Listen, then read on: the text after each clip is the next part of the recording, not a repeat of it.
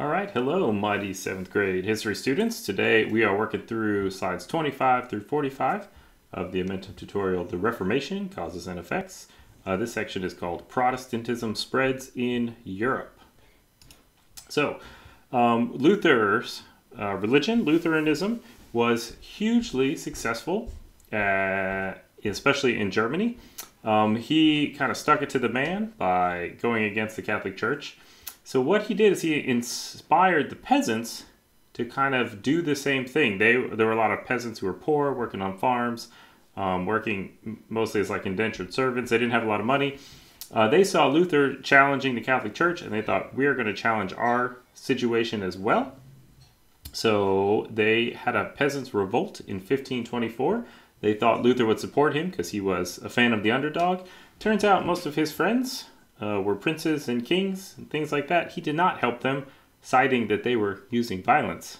I don't know how else you have a revolt without violence, but um, was quickly crushed. A lot of peasants uh, were killed. Um, the revolt did not go anywhere. Martin Luther was not a fan of the peasants, as it turns out. Uh, here's a video about the Peasants' Revolt on slide 27.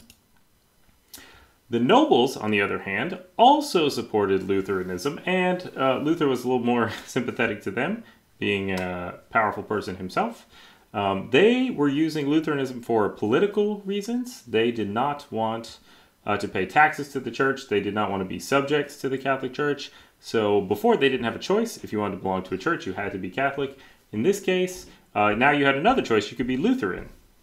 Um, so they signed a letter uh, to protest the Catholic Church, said that Luther's teachings were correct, shouldn't be considered heresy, which means um, something that goes against the church. It's a very bad crime. uh, and so, since they were protesting, this led Lutheranism and all of the um, religious groups to follow to be named Protestant. So, there's Catholics and there's Protestants, and those are the two uh, main branches of Christianity in the West. Uh, the Holy Roman Emperor and the Pope they did not really care for this, so they started a giant war. It lasted roughly 30 years, um, and they ended in 1555. And basically, the princes won. The nobles won, uh, having used Lutheranism for political gain and succeeding.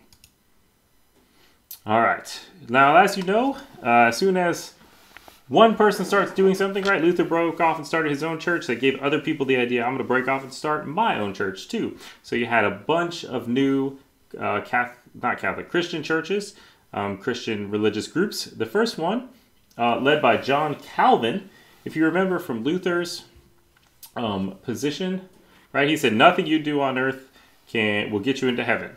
And John Calvin took this to the extreme by saying, not only will, does nothing you do get you into heaven, but you don't even get a choice. God has already decided before you were born whether or not you're going to heaven. Uh, this idea is known as predestination, which you see here on slide 30. Predestination is just the belief that God has already decided what's going to happen to you before you're even born. All right, so you have no effect whatsoever on whether you go to heaven or whether you go somewhere else.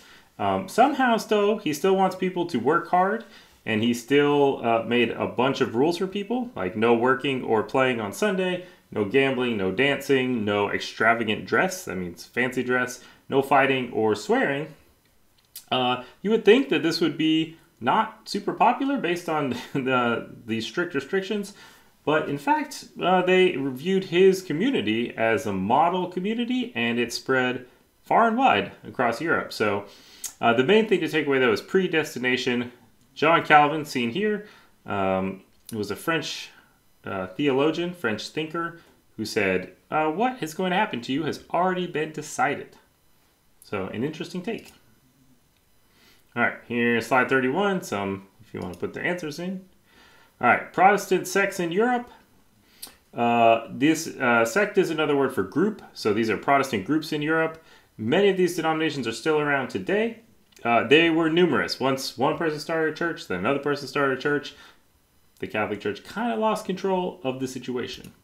Um, you'll see here in Scotland, they had Presbyterians. Um, in England, they had Anglicans, which we're going to learn about here in just a second. Uh, France was the Huguenots, uh, which was the Calvinism. Netherlands were the Anabaptists, which uh, decided when you got baptized, if you got baptized as a baby or as an adult. And then uh, here we have Calvinists, somehow different from the French Huguenots. All right, this is not on the quiz or on the test, but it is interesting. All right, let's talk about the English Reformation. So the other big church to come out of this was the Anglican Church, uh, started by King Henry VIII. So we're going to learn all about King Henry VIII here. This is him. Um, he became King of England in 1509, right? Uh, he was Catholic. He was a proud Catholic. He supported the Pope. The Pope gave him some honors. However, he and his wife Catherine, Queen Catherine, they had trouble having a son.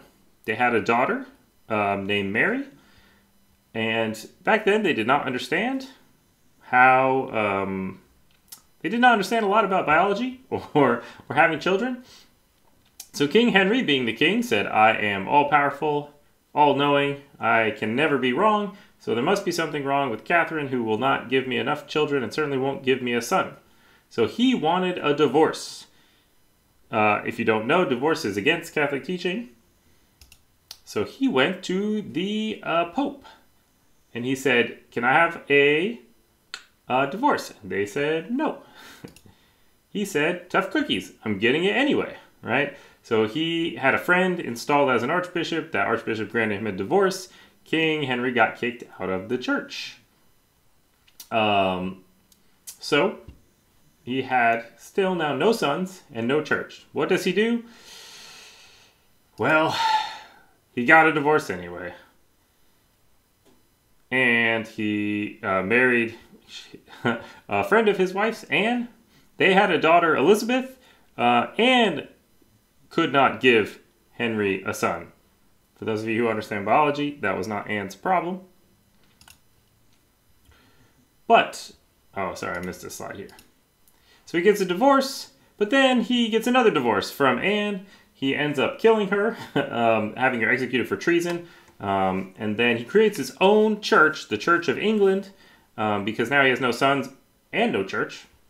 So he he creates what's called the Anglican Church. Uh, it's basically the Catholic Church, except instead of the Pope being in charge, the King of England is in charge, which is very convenient for Henry VIII, seeing as he is also the King of England.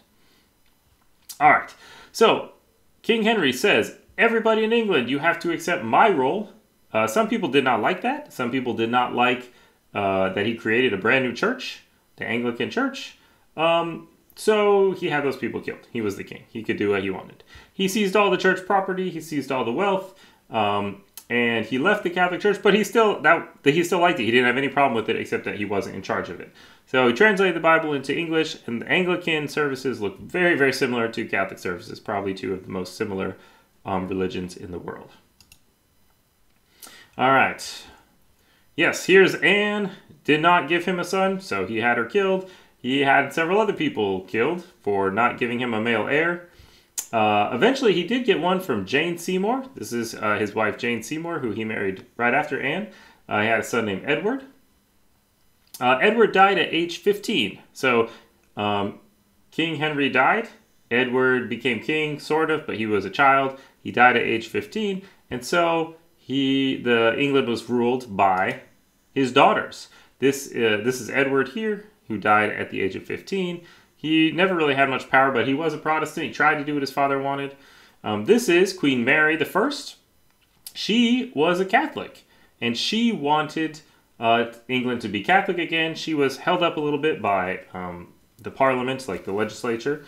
Uh, but she really pushed for Catholic teachings to the point of where she would kill uh, people who were Protestant, people who wanted to be Anglican. She just had them killed, so much so that she uh, received the nickname Bloody Mary because she killed so many people. Fun fact her favorite way of killing people was burning them. Yikes.